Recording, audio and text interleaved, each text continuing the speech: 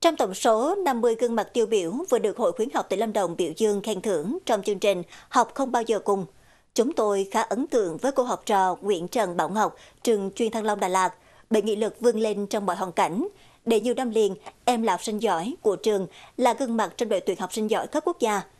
Ghi nhận sau về cô học trò nhỏ Bảo Ngọc. Đến với trường chuyên Thăng Long Đà Lạt vào thời điểm các em tập trung ôn tập để hoàn thành chương trình học cuối năm, tôi khá ấn tượng với cô trò nhỏ Nguyễn Trần Bảo Ngọc, học sinh lớp 11 chuyên địa. Với vóc dáng nhỏ nhắn, gương mặt hiền nhưng nghị lực vươn lên trong mọi hoàn cảnh đối với em là phi thường, bởi hiện tại Bảo Ngọc mồ côi, hai chị ruột đều đã có gia đình riêng ở xa. Bố mất do bị bệnh đột quỵ vào tháng 7 năm 2023. Nỗi buồn chưa dứt thì đến tháng 1 năm 2024, người mẹ thương yêu nhất của bọn em ra đi mãi mãi vì bệnh ung thư xương. Chỉ trong thời gian ngắn mà hai nỗi đau mất mát đến cùng một lúc, dường như làm Ngọc ngã quỵ, không thể vượt dậy nổi tinh thần. Thế nhưng tình thương của người cậu cùng thầy cô bạn bè đã động viên thôi thúc Ngọc tiếp bước trên con đường đến trường.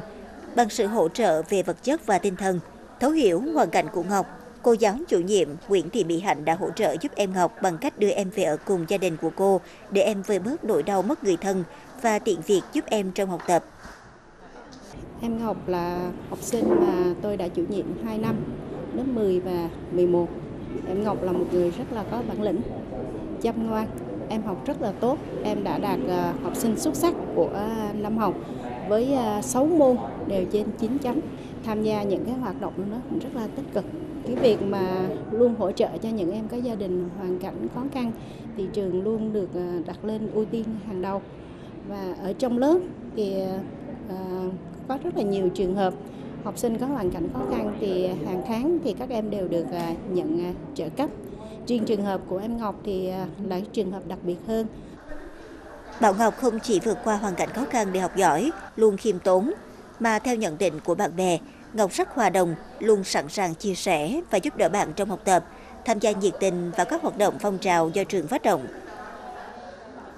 Bạn Ngọc, theo như những gì mà con có thể thấy được thì bạn khá là tự tin và rất là tích cực trong những lúc mà học. Khi mà giáo viên cần sự tương tác giữa các bạn thì bạn cũng là một cá nhân rất là nổi trội. Bạn luôn truyền đến những cái năng lượng tích cực cho đến cả lớp chúng con và đó cũng chính là một cái động lực mà để thúc đẩy không những mỗi bạn Ngọc không mà đó còn là những cái động lực cho chúng con. Để có thể ờ, cùng vươn lên trong học tập cũng như là đạt đến những cái mà thành tích mà chúng con luôn mong muốn luôn ý thức được tầm quan trọng của việc học vì thế, Bảo Ngọc luôn tìm tòi nghiên cứu sách, tài liệu về lĩnh vực sử địa để tiếp thêm kiến thức. Nhiều năm liền, Nguyễn Trần Bảo Ngọc đều là học sinh giỏi của trường Trung học phổ thông chuyên Thăng Long Đà Lạt. Năm học vừa qua, em còn đạt giải nhì học sinh giỏi cấp tỉnh môn địa lý và Ngọc còn nằm trong danh sách đội tuyển học sinh giỏi cấp quốc gia. Trong cái hoàn cảnh gia đình của con như vậy thì nếu như mà mình không tiếp tục học tập thì có lẽ là cái tương lai sau này của con có thể sẽ gặp nhiều khó khăn hơn. Vì vậy là học tập có thể là con đường duy nhất mà khiến cho con luôn luôn mà mong muốn là mình có thể đạt được những cái kết quả tốt nhất và không có phụ lòng cái sự kỳ vọng của thầy cô và gia đình. Gương sáng về cô học trò nhỏ Bảo Ngọc sẽ cổ vũ và khơi dậy ước mơ, hoài bão cho nhiều học sinh trong trường trung học phổ thông chuyên Thăng Long Đà Lạt, noi theo để học tập phấn đấu rèn luyện trở thành những công dân tốt và chỉ có học thì những ước mơ hoài bão về một tương lai tươi sáng mới rộng mở.